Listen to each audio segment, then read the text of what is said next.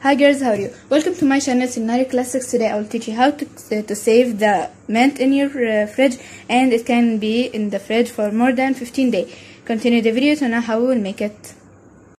We all know that we have too many ways to save the mint, uh, but this way that I will make it with you the best way to save the mint with it. So here I have the mint, as you can see. And here I have a container, you can use container, water bottle, anything you, you can use it and here I have water. Now I will add the water but I will fill half of the container with water.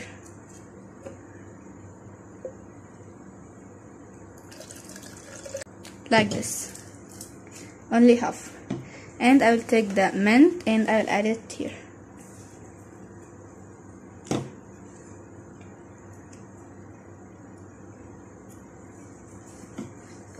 and you can keep it in the fridge and any time you want to take from it you can take. And this mint can uh, be in your fri uh, fridge for more than 15 days and I wish you tried this way because it's the best way from all the ways to save the mint with it.